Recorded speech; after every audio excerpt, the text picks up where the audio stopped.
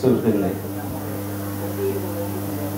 ഈ സെഷൻ ശരീര ദൂരം എന്ന എന്റെ കഥാസംഹാരത്തെ അധികരിച്ചിട്ട് കോവിഡിനെ പറ്റിയിട്ട് കോവിഡ് നമുക്ക് മനുഷ്യരാശിക്ക് എന്തെല്ലാം തിരിച്ചറിവുകളാണ് ഉണ്ടാക്കിയത് എന്നൊരു വിഷയം. കോവിഡും മലയാള സാഹിത്യവും എന്നാണ് ഇതിന്റെ ടൈറ്റിലായിട്ട് കൊടുത്തിട്ടുള്ളത് എങ്കിലും അതിജീവനം കോവിഡ് ഏകിയ തിരിച്ചറിവിലൂടെ എന്നൊരു വിഷയമാണ് ഇവിടെ പരിചരിക്കപ്പെടുന്നത്. മനുഷ്യരാശിക്ക് ഇന്ന് അതിജീവിക്കണമെങ്കിൽ കോവിഡ് മഹാമാരി പഠിപ്പിച്ച ചില പാഠങ്ങൾ ഉൾക്കൊള്ളുക തന്നെ വേണം എന്നാണ് ഈ ശരീരദൂരം എന്ന കഥാസമാഹാരത്തിലൂടെ ഞാൻ മുന്നോട്ട് വയ്ക്കാൻ ഉദ്ദേശിച്ചിരുന്ന ആശയം. മലയാളിയുടെ ലോകകവി എന്ന് ഇന്ന് വിശേഷിപ്പിക്കാവുന്ന സച്ചിദാനന്ദനാണ് ഭാഗ്യവശാൽ ഈ സെഷനിൽ എന്നെയായിട്ട് സംവദിക്കാനുള്ളത്. ശരീരദൂരം എന്ന കഥാസമാഹാരം പുറത്തിറങ്ങിയ സമയത്ത് അതിലെ കഥകളെ പറ്റി സച്ചിദാനന്ദനുമായിട്ട് ഞാൻ ഓൺലൈനിലൊരു പരിപാടി നടത്തി ബി സി ബുക്സ് അത് സംഘടിപ്പിച്ചിട്ടുള്ളത്. കാരണം കോവിഡ് ഉത്തേജിപ്പിച്ചിട്ടുള്ള സാഹിത്യകൃതികൾ സാഹിത്യ രംഗത്ത് കോവിഡിന്റെ സ്വാധീനം കൊണ്ടുണ്ടാക്കിയിട്ടുള്ള വന്നിട്ടുള്ള പുതിയ സൃഷ്ടികളെയെല്ലാം ലോകത്ത് നടന്നിട്ടുള്ള സൃഷ്ടികളെയെല്ലാം സസൂക്ഷ്മം നിരീക്ഷിക്കുന്ന ഒരു എഴുത്തുകാരനാണ് സച്ചിദാനന്ദൻ. അതുകൊണ്ട് തന്നെയാണ് ഡി സി ബുക്സ് സച്ചിദാനന്ദനും ഞാനുമായിട്ടൊരു സംവാദം നടത്തിയിട്ടുള്ളത്. അപ്പൊ അദ്ദേഹം ഇവിടെ വന്ന് ചേർന്നാൽ മാത്രമേ ഈ സെഷൻ സജീവമാവുകയുള്ളൂ. പക്ഷെ നമുക്കിങ്ങനെ സമയം ഒഴിച്ചിടാൻ നിവൃത്തിയില്ല. അതുകൊണ്ട് പിന്നെ ഞാൻ ഇതിന്റെ ഒരു ആമുഖമായിട്ട് പറയുക എന്നുള്ളതാണ്. എനിക്ക് പറയാനുള്ളത് മനുഷ്യ നാഗരികതയിൽ തന്നെ വലിയൊരു വിച്ഛേദമാണ് കോവിഡ് ഉണ്ടാക്കിയത് കോവിഡിന് മുൻപും ശേഷവും നമ്മൾ പണ്ട് രണ്ടാം ലോക മഹായുദ്ധത്തിന് മുൻപ് ശേഷം എന്നെല്ലാം പറയും ക്രിസ്തുവിന്റെ ജനനത്തിന് മുമ്പ് ശേഷം എന്നെല്ലാം പറയും ഇപ്പൊ രണ്ടാം ലോക മഹായുദ്ധമെല്ലാം തന്നെ ലോകം മുഴുവൻ ബാധിച്ച ഒരു പ്രതിഭാസമായിരുന്നു. എന്നാൽ രണ്ടാം ലോക മഹായുദ്ധം നടക്കുന്ന സമയത്തും ഇങ്ങനെ ഒരു സാധനം നടക്കുന്നുണ്ട് എന്ന് അറിയാതെ കേരളത്തിലടക്കം കുറെ ആൾക്കാർ ജീവിച്ചിരുന്നു. ഭൂലോകത്ത് പല സ്ഥലത്ത്. ഇങ്ങനെ ഏത് വലിയ മഹാമാരിയും ദുരന്തവും ഭൂമിയുടെ ഒരു വശത്ത് നടക്കുമ്പോൾ അതിനെപ്പറ്റിയൊന്നും അറിയാതെ സാധാരണ ദൈനംദിന ജീവിതത്തിൽ പല്ലിയേക്കും കുളിക്കും ഭക്ഷണം കഴിക്കുകയും ചെയ്ത് മരിച്ചു പോയിട്ടുള്ള ആൾക്കാരുണ്ട്. പക്ഷെ കോവിഡ് അങ്ങനെ ആയിരുന്നില്ല. മനുഷ്യ ചരിത്രത്തിൽ ഒരുത്തനെയും അറിയാതിരിക്കാൻ സമ്മതിക്കാത്ത രീതിയിൽ ബാധിച്ചിട്ടുള്ള ഒരു പ്രതിഭാസമാണ്. എനിക്ക് തോന്നുന്നത് ലോക ഭാഷയിൽ മനുഷ്യനുണ്ടായതിനു ശേഷം എല്ലാ ഭാഷയിലും ഏറ്റവും അധികം ഉപയോഗിക്കപ്പെട്ട വാക്ക് കോവിഡ് എന്നതാണ്. ഒരൊറ്റ വാക്ക് എല്ലാ ഭാഷയിലും അധികം ഉപയോഗിച്ചത് കോവിഡ് ആയിരിക്കും. അപ്പൊ അത്രയ്ക്ക് വലിയൊരു മാറ്റം ഉണ്ടാക്കിയ ഒരു പ്രതിഭാസമാണ് കോവിഡ്. ഏറ്റവും വലിയ തത്വചിന്തകരാകട്ടെ വലിയ ശാസ്ത്രജ്ഞന്മാരാകട്ടെ അവർക്കെല്ലാം പഠിപ്പിക്കാൻ കഴിയാത്ത പാഠം മാനവരാശിയെ കോവിഡ് പഠിപ്പിച്ചിട്ടുണ്ട് എന്നാണ് എനിക്ക് പറയാനുള്ളത്. മനുഷ്യൻ ഇനി അതിജീവിക്കണമെങ്കിൽ കോവിഡ് പഠിപ്പിച്ച പാഠങ്ങളെ നാം സ്വാംശീകരിക്കുകയും അതിനനുസരിച്ച് നമ്മുടെ വ്യക്തി ജീവിതത്തിലും രാഷ്ട്രങ്ങളുടെ ജീവിതത്തിലും മാറ്റങ്ങൾ വരുത്തുകയും ചെയ്യണമെന്ന്. ഈ കോവിഡ് എന്ന് പറഞ്ഞ ഒരു വൈറസാണ് ഈ വൈറസ് എന്ന് പറഞ്ഞാൽ ഭയങ്കര രസമുള്ള ഒരു സാധനം. വൈറസ് എന്ന് പറഞ്ഞാൽ between living and non living ആണ്. ജീവൻ ഉണ്ടോ എന്ന് ചോദിച്ചാൽ ജീവനുണ്ട് ജീവൻ ഇല്ലയോ ചോദിച്ചാൽ ജീവനും ഇല്ല ഇങ്ങനെയുള്ള ഒരു സാധനമാണ് ഇതിന്റെ ജീവൻ ഉണ്ടാവുന്നതിന്റെ ഒരു അവസ്ഥാവിശേഷം എന്താന്ന് പറഞ്ഞാൽ ഇതിന് ജീവൻ ഉണ്ടെങ്കിൽ ആതിഥേയരായിട്ടുള്ള മനുഷ്യരുടെയോ മൃഗങ്ങളുടെയോ ശരീരത്തിൽ വന്നാലേ ജീവൻ ഉണ്ടാവും ജീവനുള്ള വസ്തുക്കളുടെ എന്താ ഒരു പ്രത്യേകത? സവിശേഷമായത് അത് പ്രത്യുൽപാദനം നടത്തുന്ന പെരുകും എന്നുള്ളതാണ്. മറ്റേ ജീവനില്ലാത്ത വസ്തുക്കളൊന്നും പെരുകില്ല അതങ്ങനെ നിൽക്കുള്ളൂ ഈ വൈറസുകൾ പെരുകണമെങ്കിൽ ആതിഥേയ ശരീരത്തിൽ ഒന്നിട്ട് മൃഗങ്ങളുടെ ശരീരത്തിൽ വേണം അല്ലെങ്കിൽ മനുഷ്യന്മാരുടെ ശരീരം അല്ലെങ്കിൽ ജീവനില്ലാതെ കിടക്കുക. ഈ അതിന്റെ സ്വഭാവം തന്നെ വലിയ തത്വചിന്താപരമായിട്ടൊരു പാഠം മനുഷ്യന്മാരെ പഠിപ്പിക്കുന്നതാണ് എനിക്ക് തോന്നുന്നത്. കാരണം നമ്മൾ പലപ്പോഴും പറയാറുണ്ട് man is an ensemble of social relationships നമ്മൾ ഉണ്ടാക്കുന്നത് ശരിക്കും നമ്മൾ മാത്രമല്ല.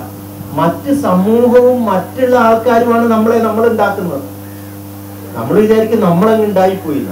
പക്ഷെ നമ്മൾ എന്താണ് നമ്മളുടെ മാനസികമായ സ്വത്തും നമ്മളുടെ പേര് പോലും ഉണ്ടാക്കുന്ന മറ്റാൾക്കാരാണ്.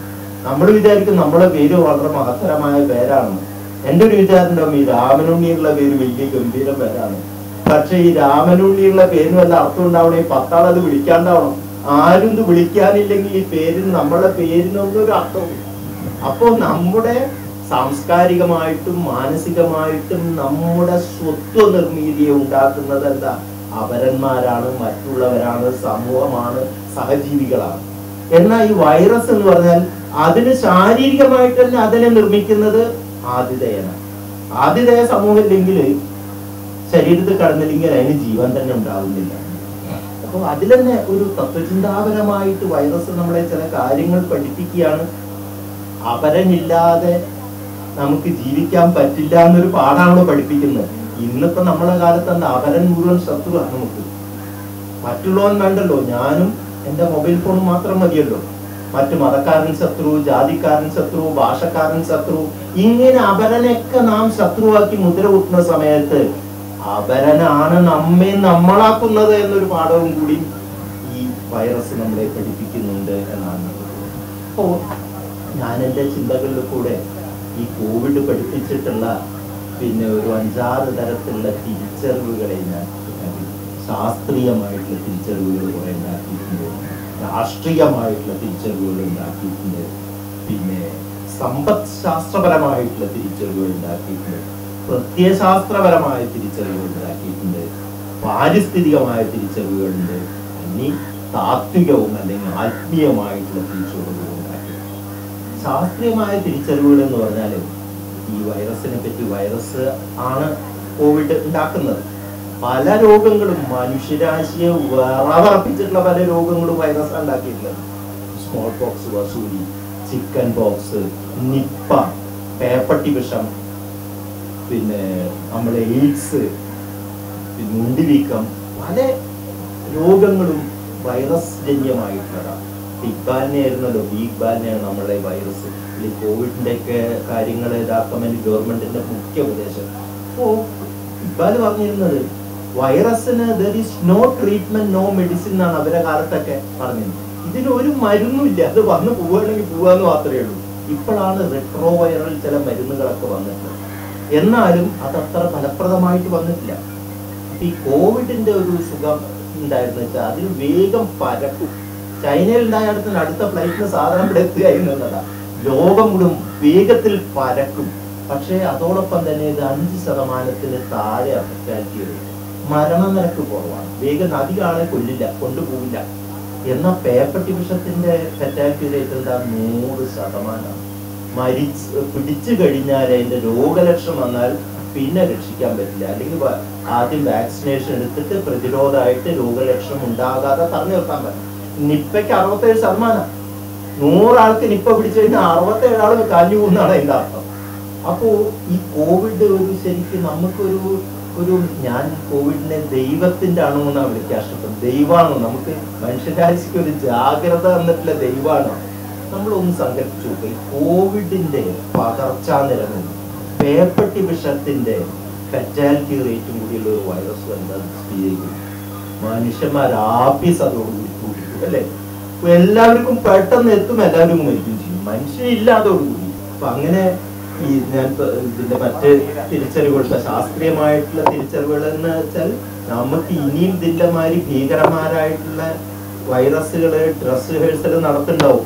വരുന്നതിന്റെ മുന്നേ നമ്മൾ അതിനനുസരിച്ചിട്ടുള്ള വാക്സിനും എം ആർ എൻ എ വാക്സിനെ വളരെ അഡ്വാൻസ്ഡ് ആയിട്ടുള്ള ചില ഇതാണ്. ഒരു കോടം വിട്ടിട്ടാണ് ഇതിനായിട്ടുള്ള പ്രോട്ടീൻ ഉണ്ടാക്കുന്നത്. ഇങ്ങനത്തെ ശാസ്ത്രീയമായ പരീക്ഷണം ശാസ്ത്രം ശാസ്ത്രവാദമല്ല ശാസ്ത്ര വിവേകത്തോടു കൂടിയേ. എന്നാൽ ഈ ശാസ്ത്രത്തിന്റെ ഉപകരണങ്ങളെല്ലാം ഇപ്പൊ കേടുവരുത്തുന്നത് ഈ മുതലാളിത്ത ഏർപ്പാടാണ്. ലാഭം ഉണ്ടാക്കാൻ വേണ്ടി ശാസ്ത്രം ഉപയോഗിക്കാം. അതിൽ നിന്ന് ജനം ശാസ്ത്രത്തെ തിരിച്ചു പിടിച്ചില്ലെങ്കിൽ മനുഷ്യന്മാരെ പരിപാടിനെ കൂട്ടിപ്പോകുന്ന ഒരു അവസ്ഥയാണെന്നുള്ളതിന്റെ ശാസ്ത്രീയമായ തിരിച്ചറിവ് കോവിഡ് നമുക്ക് നൽകിയിട്ടുണ്ട്. ഇനി രാഷ്ട്രീയമായ തിരിച്ചറിവുകളുണ്ട് സമ്പദ് ശാസ്ത്രപരമായ തിരിച്ചറിവുകൾ പിന്നെ പ്രത്യയശാസ്ത്രപരമായ തിരിച്ചറിവുകൾ പാരിസ്ഥിതികമായ തിരിച്ചറിവുകൾ ആത്മീയമെന്ന് പറയാവുന്ന തിരിച്ചറിവുകളുണ്ട്.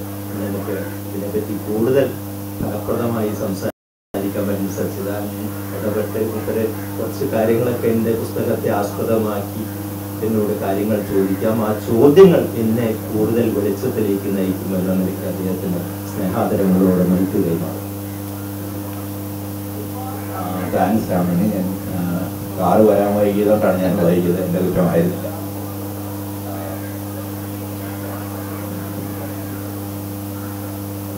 ഈ കോവിഡ് കാലം നമുക്ക് തന്ന പാഠങ്ങൾ എന്താണ്? നമ്മെ അത് മനുഷ്യനും പ്രകൃതിയുമായുള്ള ബന്ധത്തെക്കുറിച്ച് എന്ത് പഠിപ്പിക്കുന്നു? ശാസ്ത്രത്തെക്കുറിച്ച് എന്ത് പഠിപ്പിക്കുന്നു? മനുഷ്യർ തമ്മിൽ തന്നെയുള്ള ബന്ധത്തെക്കുറിച്ച് എന്ത് പഠിപ്പിക്കുന്നു? ഇങ്ങനെയുള്ള ഒരുപാട് ചോദ്യങ്ങൾ ഈ കാലം നമ്മുടെ മുമ്പിൽ ഉയർത്തുന്നുണ്ട്. ഇതിനെക്കുറിച്ച് അമർജീത് എന്ന് പറഞ്ഞ ആൾ എഴുതിയ ഒരു കവിതയുടെ ചില വരികൾ ഞാൻ വായിച്ചുകൊണ്ട് ചില ചോദ്യങ്ങൾ രാമനോട് ചോദിക്കാം. അത് ഏതാണ്ട് ഇങ്ങനെയാണ്. ആ കാലത്ത് സംക്ഷേപിക്കുന്ന ചില വരികളാണിത്. നാം ഒരു ലോകത്തിൽ നാം ഒരു ലോകത്തിൽ ഉറങ്ങി മറ്റൊരു ലോകത്തിൽ ഉണർന്നു. പെട്ടെന്ന് ഡിസ്നി നഗരം ഐന്ദ്രജാലികമല്ലാതായി. പാരീസ് കാൽപ്പനികമല്ലാതായി. ന്യൂയോർക്കിന് പിടിച്ചു നിൽക്കാൻ വയ്യെന്നായി. ചൈനയിൽ വൻമതിൽ മഹാദുർഗമല്ലെന്നായി. മെക്ക വിജനമായി. ആശ്ലേഷങ്ങളും ചുംബനങ്ങളും ഇതാ പെട്ടെന്ന് ആയുധങ്ങളായി മാറുന്നു. അച്ഛനമ്മമാരുടെയും സുഹൃത്തുക്കളുടെയും വിരുന്നുവരവ് സ്നേഹപ്രകടനമല്ലാതാകുന്നു. സമ്പത്തിനും സൗന്ദര്യത്തിനും അധികാരത്തിനും വിലയില്ലാതാകുന്നു. അവയിലൊന്നിനും നമുക്കിപ്പോൾ അവ അവയ്ക്ക് അവയിലൊന്നിനും നമുക്കിപ്പോൾ അത്യാവശ്യമായ പ്രാണവായു നൽകാൻ കഴിയില്ലെന്ന് തിരിച്ചറിയുന്നു. ഭൂമി അപ്പോഴും ജീവിക്കുന്നു മനോഹരിയായി തുടരുന്നു. മനുഷ്യരെ അവർ കൂടുകളിൽ അടയ്ക്കുന്നു എന്ന് മാത്രം. അവരുടെ സന്ദേശം കൈമാറുകയാണ്. നിങ്ങൾ അനിവാര്യരല്ല. നിങ്ങൾ ഇല്ലാതെയും ഭൂമിയും ജലവും ആകാശവും നിലനിൽക്കും. തിരിച്ചു വരുമ്പോൾ ഓർക്കുക നിങ്ങൾ എന്റെ അതിഥികളാണ് യജമാനന്മാരല്ല. ഇതൊരു പക്ഷേ നമ്മുടെ കോവിഡ് കാലം നമുക്ക് തരുന്ന ഏറ്റവും വലിയ ഒരു തിരിച്ചറിവ്. പല ഒരുപാട് ചിന്തകൾ ഇതിനെ കുറിച്ച് ഞാൻ എനിക്കൊന്നും കടക്കുന്നില്ല ഒരുപാട് ചിന്തകൾ ഇതിനെ കുറിച്ച് പുസ്തകങ്ങൾ എഴുതിയിട്ടുണ്ട്. ഈ കോവിഡിന്റെ ദാർശനികമായ സന്ദേശങ്ങളെ കുറിച്ച് കോവിഡിന്റെ സാമൂഹ്യമായ സന്ദേശങ്ങളെ കുറിച്ച് മുതലാളിത്തവും സർവാധിപത്യവും ഈ കാലത്ത് ശക്തിപ്പെടും എന്ന് വാദിച്ച ആളുകളുണ്ട്. നേരെ മറിച്ച് ജനങ്ങളുടെ ഈ പൊതു പൊതുജന ആരോഗ്യ മേഖലയുടെയൊക്കെ ദൗർബല്യങ്ങൾ വ്യക്തമാകുമെന്നതുകൊണ്ട് ജനങ്ങൾ ഇതിനെതിരെ വലിയ ചെറുത്തുനിൽപ്പുകൾ നടത്തുന്ന ഒരു വലിയ പ്രതിരോധങ്ങളുടെ കാലമായി അത് മാറും പിന്നീടെങ്കിലും എന്ന് വാദിച്ച ആളുകളുമുണ്ട്. പക്ഷെ താത്വ- താത്വികമായി ആലോചിക്കുമ്പോൾ ആ, ലാത്തോ ഡോണ ഹാരോയെ മുതലായവര് പറയുന്ന ഒരു പ്രധാനപ്പെട്ട കാര്യമുണ്ട്. നാം ഒരു പക്ഷേ മനുഷ്യർ മനുഷ്യൻ നായക സ്ഥാനത്തിരുന്ന ഒരു കാലത്ത് കാലം. അതിന് ആന്ത്രോപോസീൻ എന്നാണ് പറയുന്നത് അവിടെ നിന്ന് മനുഷ്യനും പ്രകൃതിയും ഒന്നിച്ചു ജീവിക്കേണ്ട സഹജീവനത്തിന്റെ ഒരു കാലത്തേക്ക് നാം നീങ്ങുകയാണ്. സിംബയോസീൻ എന്നുള്ള വാക്കാണ് അവർ അതിന് ഉപയോഗിക്കുന്നത്. ആന്ത്രോപോസീനിൽ നിന്ന് സിംബയോസീനിലേക്ക് മനുഷ്യനാണ് എല്ലാറ്റിനെയും രാജാവ് എന്ന് വിശ്വസിച്ചിരുന്ന ഒരു കാലത്ത് നിന്ന് മനുഷ്യനും പ്രകൃതിയുമായുള്ള സഹജീവനമല്ലാതെ ഇത് നമുക്ക് മുന്നോട്ട് പോകാനാവില്ല. മനുഷ്യ വംശത്തിന് തന്നെ നിലനിൽക്കാനാവില്ല എന്നൊരു തിരിച്ചറിവിലേക്ക് നമ്മുടെ കാലം നീങ്ങുകയാണ്. അതാണ് ഒരു പക്ഷേ കോവിഡ് തരുന്ന ഏറ്റവും വലിയ പാഠം എന്ന് പറയുന്ന ആളുകളുണ്ട്.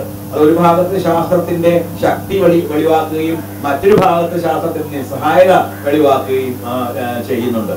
ഇപ്പൊ രാമനോട് ഞാൻ സ്വയം അതിനെ കുറിച്ച് സ്വയം അതിനെക്കുറിച്ച് കൂടുതൽ പറയാനല്ല ഇവിടെ വന്നത്. രാമനോട് ആ ശ- ശരീര ദൂരം എന്ന കഥാസമാഹാരത്തിലെ കഥകളെ ആധാരമാക്കി ചില കാര്യങ്ങൾ ഒന്ന് ചോദിക്കാൻ വേണ്ടി മാത്രമാണ്. ഒന്നാമത്തെ ചോദ്യം ഒരുപക്ഷെ ഇതിനകം രാമന് ഉത്തരം പറഞ്ഞു കഴി കഴിഞ്ഞിരിക്കും. ഈ കോവിഡ് മഹാമാരി എങ്ങനെയാണ് മനുഷ്യൻ എന്ന നിലയിലും എഴുത്തുകാരൻ എന്ന നിലയിലും താങ്കളെ ബാധിച്ചത് ജെയിംസ് ജോയ്സ് പണ്ട് പറയാറുണ്ട് എഴുത്തുകാരെ കുറിച്ച് പറയുമ്പോൾ cues us, we are olives." ഞങ്ങൾ ഒലിവുകളാണ് ഞങ്ങളെ പിഴിയൂ എഴുത്തുകാരിൽ നിന്ന് നമുക്ക് ഏറ്റവും നല്ലത് കിട്ടുന്നത് ഏറ്റവും വലിയ കഠിനമായ ദുഃഖങ്ങളുടെയും ദുരിതങ്ങളുടെയും കാലത്ത് ഗ്രീക്ക് ട്രാജഡികളൊക്കെ വെച്ചിട്ട് ആണ് അദ്ദേഹം അത് പറയുന്നത്. നമുക്ക് വലിയ ദുരന്ത കാവ്യങ്ങളും മഹാകാവ്യങ്ങളും ഒക്കെ ലഭിച്ചിട്ടുള്ളത് മനുഷ്യൻ ഏറ്റവും വലിയ സംഘർഷങ്ങളിലൂടെ കടന്നുപോയ കാലത്തൂടെയാണ് എന്ന്. ആ ആ- തരത്തിലുള്ള കാലത്തൂടെയാണ് നമ്മൾ കടന്നുപോയത്. ആ സ്വ- സ്വാനുഭവം വെച്ചുകൊണ്ട് എങ്ങനെയാണ് ആ കാലത്തെ നേരിട്ടത്? നമ്മുടെ എല്ലാവരും അവരവരോട് തന്നെ ചോദിക്കുന്ന ഒരു ചോദ്യമാണ്. ഞാൻ ആ കാലത്ത് അറിയാവുന്നതുപോലെ ഞാൻ ഭക്തി കവികളെയും സൂഫി കവികളെയും ഒക്കെ പരിഭാഷപ്പെടുത്തുകയായിരുന്നു. എന്റെ എഴു- എഴു- എഴുതുന്നത് കൂടാതെ ഒരുപാട് വെർച്വൽ പരിപാടികൾ അറുപതോളം പ്രഭാഷണങ്ങൾ നടത്തി. അങ്ങനെ അങ്ങനെയാണ് ഒരു തരത്തിൽ ആ കാലത്തിന്റെ ശൂന്യതയും ഏകാന്തതയും ഞാൻ നേരിട്ടത്. ഇതുപോലെ ഓരോരുത്തർക്കും അവരുടേതായ കഥകളുണ്ടാവും. ബ്രാഹ്മണിയെ സംബന്ധിച്ച് എങ്ങനെയാണ് ആ കാലത്തെ നേരിടുന്നത്? പക്ഷേ ശരീരദൂരത്തിലെ കഥകളും ആ കാലത്തെ നേരിടുന്നതിന് നടത്തിയ വലിയ യത്നങ്ങളുടെ ഉൽപ്പന്നങ്ങളാണ് എന്ന് ഞാൻ വിചാരിച്ചു സത്യത്തിൽ ഏതൊരു എഴുത്തുകാരനെയും പോലെ സംവേദനശേഷിയുള്ള ആരെയും പോലെ തന്നെ കോവിഡ് വലിയ പരിഭ്രാന്തി തന്നെയാണ്. മനുഷ്യനെങ്ങിട്ടാണ് പോകുന്നത്. നമ്മുടെ നേട്ടങ്ങളൊക്കെ വളരെ നിസ്സാരമല്ല? ഈ കവിതയിൽ പറഞ്ഞ മാതിരി മനുഷ്യ സംസ്കൃതി ഉണ്ടാക്കിയ നായകരികതയെല്ലാം ഇത്ര നിസ്സാരമല്ലേ? മനുഷ്യൻ ഇത്ര നിസ്സാരമല്ലേ? അപ്പോ ഇത് പഠിപ്പിച്ച ശാസ്ത്രീയമായിട്ടുള്ള പല പാഠങ്ങളെ പറ്റിയും ഞാൻ ആലോചിക്കൽ തുടങ്ങി. മനുഷ്യൻ ഒറ്റയ്ക്ക് അതിജീവിക്കാൻ പറ്റുകയില്ല. മനുഷ്യൻ മറ്റ് പ്രകൃതിനെല്ലാം അടക്കി ഭരിച്ച് പ്രകൃതിനെല്ലാം തന്റെ സുഖസൗകര്യത്തിന് വേണ്ടി ഉപയോഗിക്കാനുള്ള ഒരു രാജാവായിട്ട് ഒരിക്കലും നിൽക്കാൻ പറ്റുകയില്ല.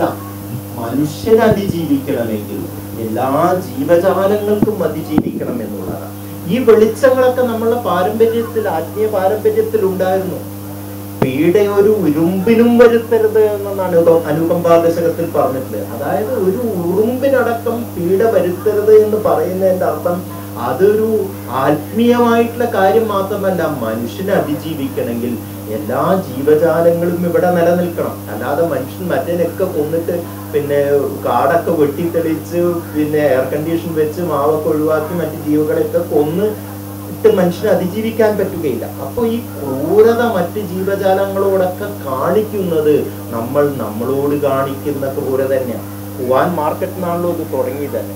അതന്നെ ഒരു പ്രതീകാത്മകമാണ്. എല്ലാ ജന്തുക്കളെയും പിന്നെ കൊന്നിട്ട് അതിന്റെ ഇറച്ചി രസിച്ച് രുചിക്കാൻ വേണ്ടിയിട്ടുള്ള ആൾക്കാരെ പിന്നെ ടൂറിസത്തിന് കൊണ്ടുവരുന്നോടത്ത് തന്നെ ആ ക്രൂരതയിൽ നിന്ന് വൈറസ് ഉണ്ടായി എന്നൊരു കാവ്യാത്മകമായിട്ടുള്ള ഒരു ന്യായീകരണം അതിന്റെ അകത്തുണ്ട്. ഇതിൽ നിന്ന് പ്രധാനപ്പെട്ട ഒരു പാഠം പഠിച്ചത് എന്താ വെച്ചാൽ ഇനിയിപ്പോ ഈ പുതിയ ആരോഗ്യ രംഗത്തിന്റെ തന്നെ സങ്കല്പം മാറി.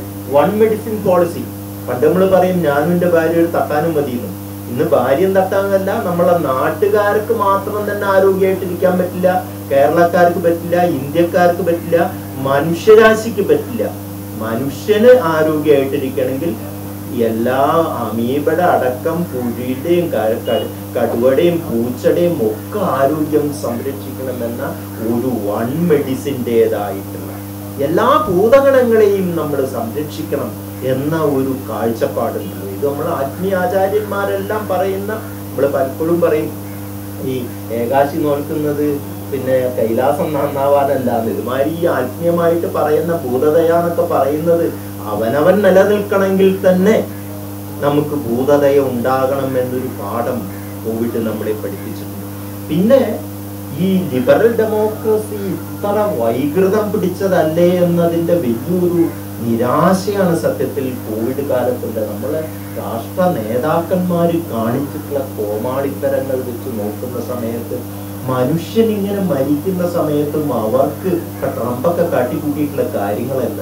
അവർക്ക് വാൾ സ്ട്രീറ്റ് ഇടിഞ്ഞു പോകാതിരിക്കണം. തന്റെ പിന്നെ ബിസിനസ് തരാതിരിക്കണം ബോറിസ് ജോൺസൺ ആണെങ്കിലും ഇങ്ങനെയാണ്. ബ്രസീലും ഇങ്ങനെയാണ്. നമ്മളുടെ പ്രധാനമന്ത്രി എന്താണ് വരാൻ പോകുന്നതെന്ന് കൂടി നോക്കാതെ ഡ്രമാറ്റിക് ആയിട്ട് പിന്നെ ഇങ്ങോട്ട് ലോക്ക്ഡൌൺ പ്രഖ്യാപിച്ചിട്ട് ഇന്ത്യ വിഭജന സമയത്ത് ഉണ്ടാക്കിയേക്കാൾ കൂടുതൽ ആൾക്കാർ അന്യ തൊഴിലാളികൾ മരിച്ചു. ഇതൊക്കെ വല്ലാത്ത വിക്ഷോഭമാണ്. നമുക്ക് ഈ ഈ ലിബറൽ ഡെമോക്രസി ഈ മുതലാളിത്തം അവസാന ഉത്തരമാണ് എന്നതിന്റെ മഹാവിട്ടിത്തരം രാഷ്ട്രീയമായിട്ടുള്ള തിരിച്ചറിവ് ജനകീയമായിട്ടുള്ള ഒരു ബദൽ സംവിധാനം ഉണ്ടാകാത്ത ഇന്നത്തെ ലിബറൽ ഡെമോക്രസി ഒരു തരത്തിലും നമ്മളെ രക്ഷിക്കാൻ പോകുന്നില്ല. ഇങ്ങനെ സ്റ്റേറ്റ് ഓഫ് എക്സിഡൻസി പറഞ്ഞിട്ട് പിന്നെ ഇപ്പോ ഇതിലൊക്കെ പറഞ്ഞ മാതിരി നമ്മളെ സർവൈലൻസ് ഇങ്ങനെ ഒരു എക്സ ഒരു സ്റ്റേറ്റ് ഓഫ് എക്സെപ്ഷൻ ആണ്. ഇത് പറഞ്ഞ് മനുഷ്യന്റെ സ്വാതന്ത്ര്യത്തെ ഇല്ലാതെയാക്കുകയും ഇപ്പൊ തന്നെ നമ്മൾ എവിടെ പോയാലും നമ്മളെ പിടിക്കാം. നമ്മളെ മൊബൈൽ ഫോണിൽ നമ്മളെ പിടിക്കാം. ഓവർ സിൻ സ്കിൻ സർവൈലൻസ് ഇനിയിപ്പോ കുറച്ചു കഴിഞ്ഞാൽ നമ്മൾ മനസ്സിൽ എന്താ വിചാരിക്കുന്നതെന്നും കൂടി കണ്ടുപിടിക്കാൻ പറ്റുന്ന സർവൈലൻസിലേക്ക് എത്തും. ഒരു ബയോമെട്രിക് ബ്രേസ്ലെറ്റ് നമ്മൾ തൂക്കി കഴിഞ്ഞാൽ മനുഷ്യന്റെ എല്ലാ സ്വകാര്യതയില്ലാതെ സർക്കാരിനും ഭീകരമായിട്ട് പൗരന്റെ സ്വാതന്ത്ര്യത്തിൽ കൈകടത്താൻ പറ്റുന്ന സൗകര്യങ്ങളാണ് ഇങ്ങനത്തെ മഹാമാരികൾ നമ്മുടെ ഭരണകൂടങ്ങൾക്ക് നൽകുന്നത്. ഇപ്പോൾ വിദ്യാരാജ്യത്തും നമുക്കറിയാം. കർഷക സമരാണെങ്കിലും പിന്നെ പൗരത്വത്തിനെതിരായിട്ടുള്ള സമരാണെങ്കിലും ഇതെല്ലാം ഇല്ലാതെ ആവുകയും തൊഴിലാളികളുടെ അവകാശങ്ങളില്ലാതെ ഫെഡറൽ സ്ട്രക്ചറിന്റെ ഭൂലോകം മുഴുവൻ തന്നെ ഒരു വലതുപക്ഷ ചായവിലേക്ക് പോയിക്കൊണ്ടിരിക്കുകയും ഭരണകൂടം ഭീകരമായി മാറിക്കൊണ്ടിരിക്കുകയും ഇതെല്ലാം തന്നെ നമ്മുടെ വ്യക്തി എന്ന നിലയ്ക്ക് എഴുത്തുകാരൻ എന്ന നിലയ്ക്ക് വല്ലാതെ എന്നെ ബാധിച്ചിട്ടുണ്ട്. അങ്ങനെ പാരിസ്ഥിതികമായിട്ടുള്ളത്. നമ്മൾ എന്തൊരു ക്രൂരതയാണ് മറ്റ് ജീവികളോട് കാണിച്ചിരുന്നത് മയിലുകളൊക്കെ സുഖമായിട്ട് ഇങ്ങനെ ഡാൻസ് ചെയ്ത് നടക്കുക കുരങ്ങന്മാര് തുള്ളിച്ചാടി നടക്കുക. ഇത് ഒരിക്കലും കൂട്ടിച്ചേർക്കാൻ പറ്റില്ല എന്ന് വിചാരിച്ച ഓസോൺ പാളികളൊക്കെ തുന്നിച്ചേർക്കപ്പെടുക. അപ്പൊ മനുഷ്യ നാഗരികത ഈ പ്രകൃതിയോട് മറ്റ് ജീവജാലങ്ങളോട് ചെയ്യുന്ന ക്രൂരത എത്ര ഭീകരമാണ് എന്നാണ് തിരിച്ചറിഞ്ഞത്. പിന്നെ എന്നിൽ ഉണ്ടാക്കിയിട്ടുള്ള വലിയൊരു ചിന്ത ഞാൻ നിന്ന് ചോദിക്കും പറഞ്ഞാൽ നമ്മുടെ ലൈഫിന്റെ ജീവിതത്തിന്റെ ലക്ഷ്യം തന്നെ നമ്മൾ മാറ്റണം. ഇങ്ങനെ ഒരു ഒരു വികസനം ഉണ്ടല്ലോ. ഭൗതികമായിട്ടുള്ള ഒരു വികസനത്തിന്റെ ലോകം ഇനി നമുക്ക് ഉണ്ടാകാൻ സാധിക്കില്ല ഇവിടെ ഞങ്ങളൊക്കെ പിന്നെ മനോഹർ തോമസ് ഇവിടെ ഇരിക്കുന്നത് സ്റ്റേജിൽ അമേരിക്കനെ കുറെ ചീത്ത പറഞ്ഞാലും എല്ലാവരും ഉള്ളും അമേരിക്ക ആവണമെന്നാണ് പക്ഷേ ശാസ്ത്രജ്ഞന്മാര് പറയുന്നത് ഭൂലോകത്തെ എല്ലാ രാജ്യവും അമേരിക്ക ആവണമെങ്കിൽ പത്ത് ഭൂമി വേണമെന്നാ പറയും അത്രയ്ക്ക് റിസോഴ്സസ് ഇവിടെ ഇല്ല. അപ്പൊ അങ്ങനെ ഭൗതികമായിട്ട് ഇനി ഒരു ഒരു വികസനം വെറും ഭൗതികമായിട്ടുള്ള വികസനം ഒരു ലൈഫ് ഓഫ് ആക്ഷന് പകരം ഇനി ലൈഫ് ഓഫ് കണ്ടംപ്ലേഷൻ പറ്റുള്ളൂ മനുഷ്യന്റെ പുരോഗതി എന്ന് പറഞ്ഞാൽ ഭൗതികമായിട്ടുള്ള കാര്യങ്ങൾ ആർജിക്കുന്നതിന് പകരം മാനസികമായിട്ടും ആത്മീയമായിട്ടും ബുദ്ധിപരവുമായിട്ടുമുള്ള സമ്പന്നതകളാണ് ഇനി നമ്മൾ മുന്നോട്ട് വയ്ക്കേണ്ടത് നമ്മുടെ ജീവിതത്തിന്റെ ഒരു പാരഡൈം ഷിഫ്റ്റ് തന്നെ. നമ്മൾ എന്തിനാണ് എന്തിനു വേണ്ടിയാണ് നമ്മൾ ജീവിക്കുന്നത്? കുറെ പിന്നെ പെട്രോൾ ഉപയോഗിക്കാനും ഫ്ലൈറ്റ് പോകാനും മൈസൂർ റൂമിൽ ജീവിക്കാനും മാത്രമാണോ നമ്മൾ ജീവിക്കേണ്ടത്? അതോ നമുക്ക് സന്തോഷത്തിന്റെതായ ഹാപ്പിനെസ് ഇൻഡെക്സ് വേണോ? സംതൃപ്തിയുടെ വേണോ? സമ്പത്ത് എന്ന് പറഞ്ഞാൽ എന്താണ്? ഭൗതികമായി നേടൽ മാത്രമാണോ? ആത്മീയമായ സമ്പത്ത്. ഇരുപതാം നൂറ്റാണ്ടിൽ ഏറ്റവും വലിയ സമ്പന്നൻ ആരോ വെച്ചാൽ നമ്മൾ ശ്രീനാരായണ ഗുരു എന്നല്ലേ മറുപടി പറയാം. അദ്ദേഹം ജീവിച്ചിട്ടുള്ള വീടൊരു ചാളമായിരുന്ന സ്ഥലത്താണ് അദ്ദേഹം യുവാനത്തിലെ ഏറ്റവും വലിയ സമ്പന്നനായ മലയാളി ജീവിച്ചിട്ടുള്ളത്. അപ്പൊ സമ്പത്ത് വികസനം ഇതെല്ലാം പുനർനിർവചിക്കേണ്ട ഒരു അവസ്ഥയിലാണ് എത്തുന്നത്. ഈ കഥകളിലും അങ്ങനെയുള്ള ജീവിതവിഷമകരമായ കാര്യങ്ങളാണ് ഞാൻ പിന്നെ മുന്നോട്ട് വയ്ക്കാൻ ശ്രമിച്ചത് ഈ കഥകളിൽ പൊതുവായ കുറേ ഘടകങ്ങൾ ഉണ്ട്. ഓരോ കഥയായിട്ട് ചർച്ച ചെയ്യാൻ സമയമുണ്ടോ എന്ന് എനിക്ക് അറിഞ്ഞ സംശയമാണ്. പക്ഷേ പൊതുവായ ഘടകങ്ങളിൽ ഒന്ന് ഒരു പാശ്ചാത്യ പരിഷ്കൃതിയുടെ വിമർശനമാണ്. അതായത് യൂറോസെൻട്രിക്കായ യൂറോപ്പിനെ കേന്ദ്രമാക്കിക്കൊണ്ടുള്ള ഒരു ലോകവീക്ഷണത്തിന്റെയും യൂറോപ്പ് യൂറോപ്പിലെ പുരുഷനെ കേന്ദ്രമാക്കിക്കൊണ്ടുള്ള ഒരു ഹ്യൂമനിസത്തിന്റെയും ആ ഒരു കഠിനമായ രൂക്ഷമായ ചിലപ്പോഴൊക്കെ പരോക്ഷമാണെങ്കിൽ പോലും ഒരു വിമർശനം ഈ കഥകളിൽ പൊതുവായിട്ട് ഞാൻ കാണുന്നുണ്ട്. അപ്പോൾ അത് അതെനിക്ക് തോന്നുന്നത് ആദ്യത്തെ കഥയിൽ തന്നെ തുടങ്ങുന്നുണ്ട്. ശരീരദൂരം എന്നുള്ള ഈ പുസ്തകത്തിന്റെ ശീർഷകം നൽകുന്ന കഥയിൽ തന്നെ. അതിലെ സുദേവൻ സുദേവൻ നമ്പൂതിരി അതിനൊരു നല്ല ഉദാഹരണമാണ്. അയാൾ അയാളുടെ ഏറ്റവും വലിയ ആഗ്രഹം വെള്ളക്കാരെ സന്തോഷിപ്പിക്കുക വെള്ളക്കാരെ പോലെയുള്ള ഒരു ആളായിട്ട് മാറുക.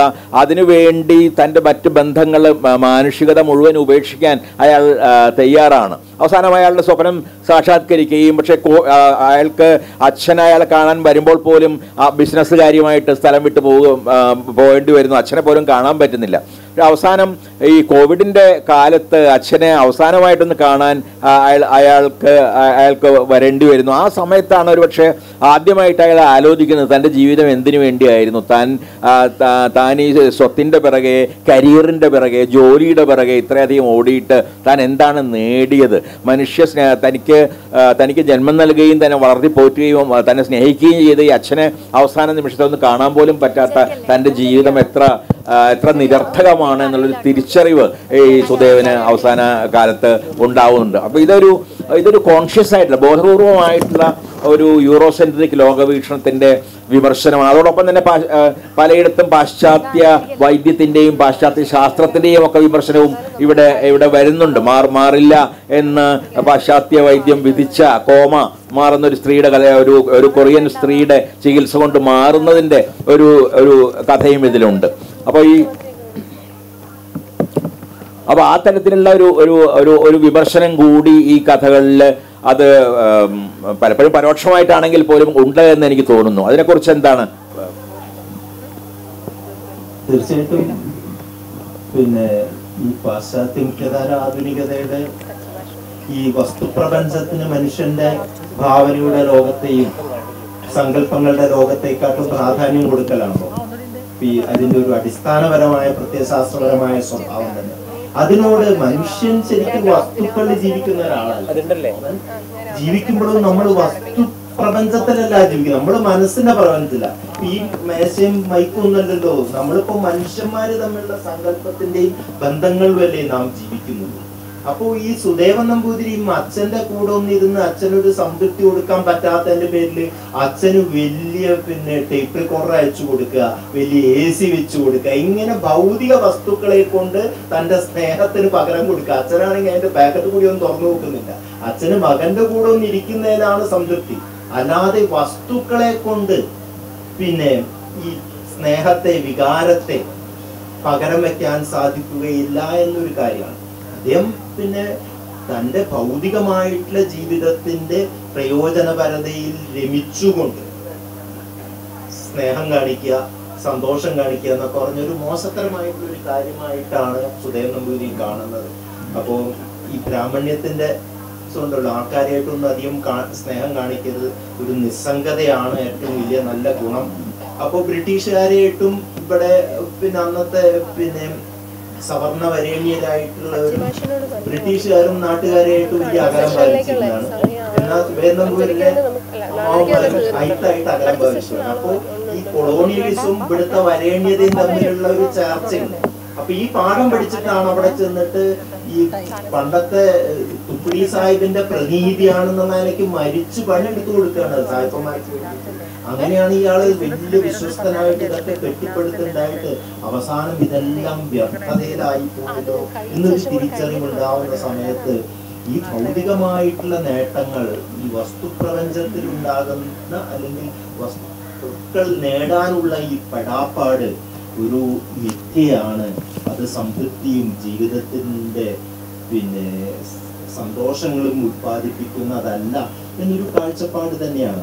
തീർച്ചയായിട്ടും പാശ്ചാത്യ മുഖ്യധാര ആധുനികത വയ്ക്കുന്ന ചില പിന്നെ മുൻഗണനാ ക്രമങ്ങളോടുള്ള ഒരു കലഹം ഇതിൽ എന്നെ ആകർഷിച്ച മറ്റൊരു കഥ. ഒരുപാട് എല്ലാ കഥകളും വളരെ വളരെ അർത്ഥപൂർണമാണ്. വധക്രമം എന്നൊരു ഒരു കഥയുണ്ട്.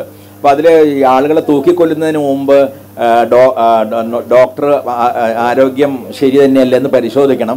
അപകടകരമായ ഒരു അവസ്ഥയിലാണ് ആ മനുഷ്യനെങ്കിൽ അയാളെ തൂക്കിക്കൊല്ലാൻ പാടില്ല നമ്മുടെ നിയമത്തിൽ തന്നെയുണ്ട്. അപ്പോൾ ഇതിൽ ഇതിലുള്ളൊരു വധശിക്ഷയ്ക്ക് വേണ്ടിയിട്ട് അങ്ങനെ അവസാനം ഡോക്ടറായിട്ട് ക്ഷണിക്കപ്പെടുന്നത് കോവിഡ് മഹാമാരി കാലത്തെ ഏറ്റവും വലിയ സേവനം ചെയ്ത ചരൺ ഗുപ്ത എന്ന് പറയുന്ന ഡോക്ടറാണ്. അതിലൊരു അതിലത്തെ ഒരു വൈരുദ്ധ്യമാണ് അതിൽ ചൂണ്ടിക്കാണിക്കുന്നത്. മനുഷ്യർക്ക് വേണ്ടി ജീവിച്ച ഒരാൾ ഒരു മനുഷ്യരെ കൊല്ല മനുഷ്യനെ കൊല്ലാൻ ഉള്ള ഒരു സാക്ഷിയായിട്ട് ഒരു ഡോ ഒരു ഡോക്ടറായ സാക്ഷിയായിട്ട് മാറേണ്ടി വരുന്ന ഒരവസ്ഥ. അതിൽ നിന്ന് അയാൾ സ്വയം രക്ഷപ്പെടുന്നത് ആ മനുഷ്യനെ പ്രതിയായിരുന്ന ആളെ തട്ടിവീഴ്ത്തി ഒരു അപകടം വരുത്തിക്കൊണ്ടാണ്. പിന്നെ അപ്പോൾ അയാളെ തൂക്കാൻ തൂക്കിക്കൊല്ലാൻ പറ്റില്ല നിയമപ്രകാരം. അപ്പോൾ അപ്പോൾ ആ ഒരു ധർമ്മസങ്കടം ഈ നന്മയ്ക്ക് വേണ്ടി ജീവിച്ച ഒരാളെ തിന്മയുടെ സാക്ഷിയാക്കി മാറ്റുന്ന ഒരു മനുഷ്യൻ തന്നെ സൃഷ്ടിച്ച അവസ്ഥയും മനുഷ്യൻ സൃഷ്ടിച്ച നിയമവും. അപ്പം നിയമത്തിന്റെയും ഈ ഈ നമ്മൾ നന്മയെയും തിന്മയെയും കാണുന്നതിന്റെയും ഒക്കെ ആയ ഒരു വിമർശനം ആ കഥയിലുണ്ടെന്ന് എനിക്ക് തോന്നിയിട്ടുണ്ട്. പിന്നെ ഈ വധശിക്ഷയ്ക്ക് സാക്ഷിയായിട്ട് ഒരു ഡോക്ടറെ വെക്കുന്നതിന് ഒരു ഭീകരമായിട്ടുള്ള അവസ്ഥ ഡോക്ടറെ പ്രാഥമികമായിട്ടുള്ള ഉത്തരവാദിത്വം ഏത് ആൾക്കാരെയും രക്ഷിക്കുക എന്നുള്ളതാണ്.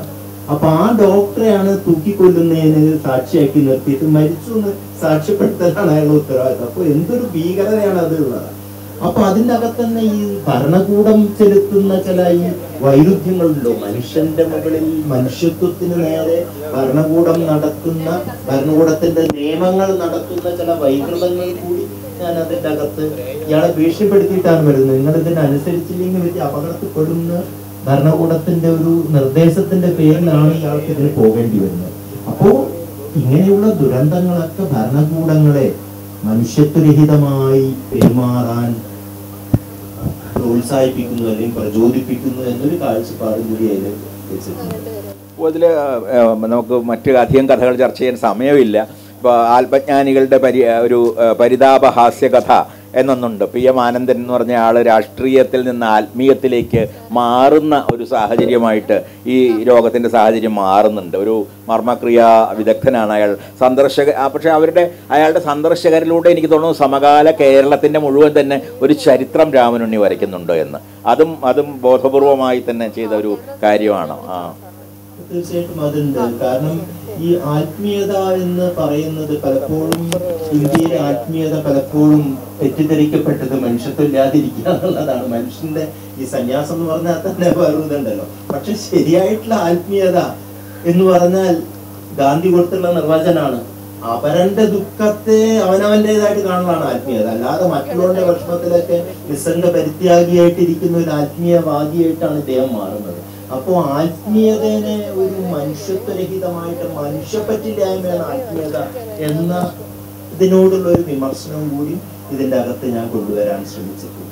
ഇതിലെ എല്ലാ എല്ലാ കഥകളും ഈ രീതിയിൽ പല രീതിയിൽ കോവിഡ് കാലം നമുക്ക് തന്ന പലതരത്തിലുള്ള പാഠങ്ങൾ നമ്മെ ഒന്നുകൂടി ഓർമ്മിപ്പിക്കുകയും പഠിപ്പിക്കുകയും ചെയ്യുന്നതാണ്. അതിന്റെ അഗാധമായ ധ്വനികളുള്ള കഥകളാണ് അവ അവ രോഗാഖ്യാനങ്ങളാണെന്ന് ഇ പി രാജഗോപാലിനൊരു ലേഖനത്തിൽ പറയുന്നുണ്ട്. പക്ഷേ എനിക്ക് അവ തോന്നിയത് മനുഷ്യാഖ്യാനങ്ങൾ മനുഷ്യാവസ്ഥയുടെ തന്നെ ആഖ്യാനങ്ങളായിട്ട് ആണ്. ആ രീതിയിൽ എനിക്ക് തോന്നുന്നു ഈ കാലത്തെക്കുറിച്ച് പഠിക്കുന്ന ആരും വായിച്ചിരിക്കേണ്ട പുസ്തകങ്ങളിൽ ഒന്നാണ് ഈ ശരീരദൂരവും. അതിലത്തെ വളരെ വ്യത്യസ്തങ്ങളായി ഈ വ്യത്യസ്ത കോണുകളിൽ നിന്ന് ഈ രോഗത്തെയും രോഗാവസ്ഥയും ആ കാലത്തെയും സമീപിക്കുന്ന കഥകളും എന്ന്. അപ്പോൾ ഈ കഥകൾ വായിക്കാൻ ഉള്ള ഒരു ആഹ്വാനത്തിലാണ് ഞാൻ ഈ സെഷന്റെ സമയം കഴിഞ്ഞു എന്ന് പറഞ്ഞു. ഈ നമ്മുടെ ഈ സെഷൻ അവസാനിപ്പിക്കുന്നത്. ഞാൻ വൈകിയതിൽ വീണ്ടും ക്ഷമ ചോദിക്കുന്ന ഒരുപാട് ചോദ്യങ്ങളുണ്ട്. പക്ഷേ. നമുക്ക് അരമണിക്കൂർ നൽകപ്പെട്ടിട്ടുള്ളൂ. ആ സമയം ഏതാണ്ട് കഴിഞ്ഞു. അതുകൊണ്ട് ഇവിടെ ഇത് ശ്രദ്ധിച്ച് കേട്ട ആളുകൾക്ക് നന്ദി. ശരീരദൂരം ദൂരം വായിക്കുക അതിലെ അതിലെ കഥകൾ ചർച്ച ചെയ്യുക അതിലെ ധ്വനികൾ മനസ്സിലാക്കാൻ ശ്രമിക്കുക. അതിലൂടെ ഒരുപക്ഷെ നമുക്ക് ഈ ഈ വളരെ അസാധാരണമായ ഈ കാലം പ്രകൃതിയെക്കുറിച്ചും മനുഷ്യനെക്കുറിച്ചും ബന്ധങ്ങളെക്കുറിച്ചും ഒക്കെ നമ്മെ എന്ത് പഠിപ്പിക്കുന്നു എന്ന് മനസ്സിലാക്കാൻ കഴിയും എന്ന് എന്നാണ് എനിക്കൊരു പക്ഷേ അവസാനമായിട്ട് പറയാനുള്ളത്. നിങ്ങൾക്ക് നന്ദി.